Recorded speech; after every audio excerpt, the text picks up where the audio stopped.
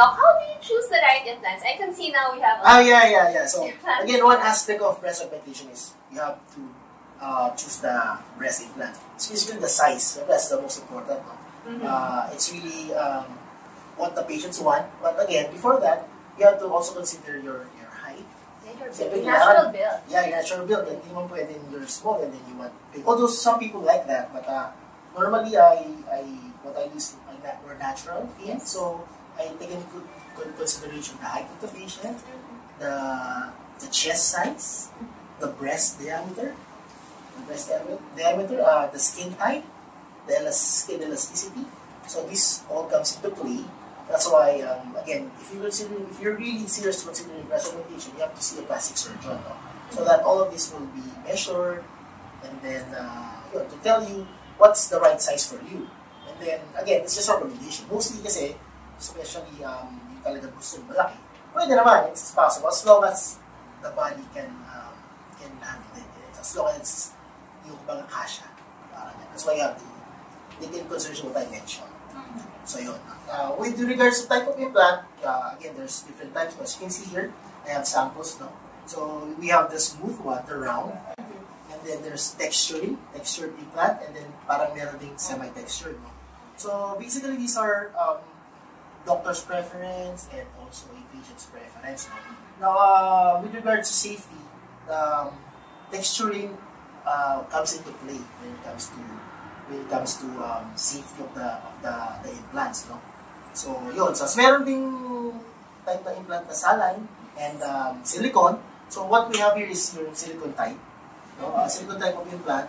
Uh, normally kasi we don't mm, normally sa Philippines we don't normally use saline for breast augmentation kasi it's more prone to rupture.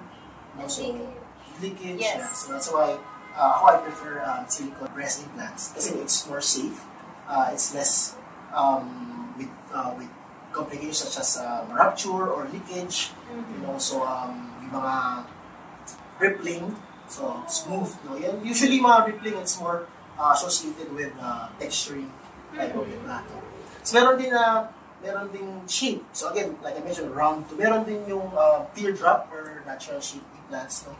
With uh, with this type of implant, specifically Motiva, Mhm. uh, they have that effect. No, para siyang uh, round. Oh. But if you stand up, it, it, it creates a more parang uh, teardrop shape or natural type of uh, shape na breast. So, so parang ganon. So, yun ang Motiva. I So, see. yun basically. Also, is it safe to say that in saline breast implants are the first generation Yeah, implants? correct, Tapos the newer ones are silicone. Yes, ma'am. And Yes, it is what you recommend. yes uh, what I recommend is again is uh, um, si- uh, silicone gel implants. Basically, uh, what I normally recommend now is since it's already uh, available in the market, Mhm. is against Motiva implant. Oh, Now, uh, if you ask why Motiva, no, as you can see, no, um, compared to the texturing, breast implant related complication kasi, Mhm. ang most common kasi long term is ca- capsular contraction. What do you mean by Capsular contraction is what happens is since it's foreign body, right? Yes. So if you put it inside your body, there's, there's going to be some kind of reaction. Mhm. So sometimes that your body will make a capsule around this implant. And sometimes that capsule, para siyang scar inside it. That capsule becomes hard. It doesn't recognize, recognize it as its own. Yeah, yeah, because it's foreign. It's, Okay. it's not part of you. So it will create a capsule inside. And that Mhm. capsule will sometimes, within uh, within 10 years, becomes thick. It becomes hard. Yes. Now with, with this implant, Motiva, again, it's uh, it's been proven that it, it is less uh, with, with less contraction. They claim that it's even uh, less than 1% contraction rate.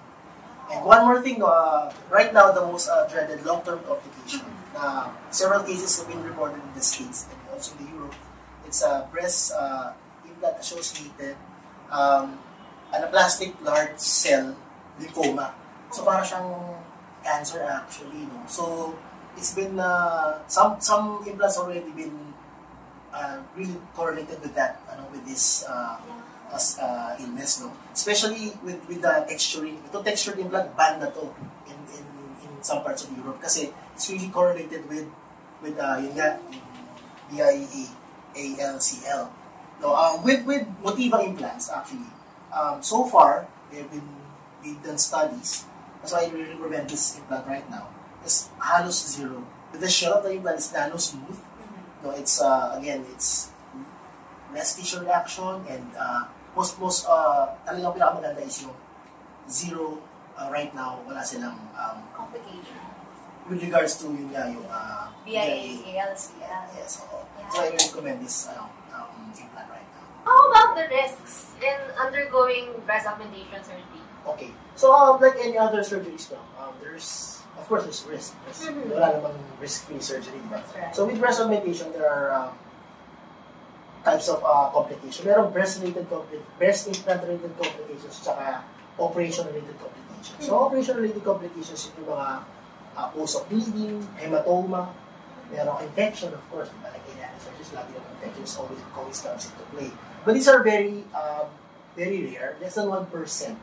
Now with the breast implant-related complication, so uh, again, uh, most common is long-term complications with capsular contracture, right? Like what I mentioned. Others are rippling. Rippling is that, as you can see with, with Motiva, kita mo siya buong buo siya. Yeah. Full siya, di ba? Compared, compared with this one, look at this. Yung feeling ng implants niya, parang ba may depression. Kita mo rin dito. Hindi siya fully filled. With, hindi na lang makita another with, with Motiva. It's really filled. So rippling is less. Or not even, they report as in less than 1%. No? Uh, with rotation, um, rotation is uh, usually associated with teardrop shape. But again, with, with ergonomics, since it's round and it's uh, when you stand up it acts as teardrop, rotation is again uh, Not a problem. so, yun, uh, basically those are most common uh, breast of uh, breast uh, implant related complication. And of course, the most dreaded, like what I mentioned, is yung uh, breast implant associated uh, ALCL. Yes. Yun talaga, which is talaga, it's related, they really correlate that with the texture. So, again, uh, with, with, with the shell of um, Motiva, Mhm. uh, the report right now is zero. Oh, wow. Yeah, wala talaga siyang uh, cause with uh, PIAs.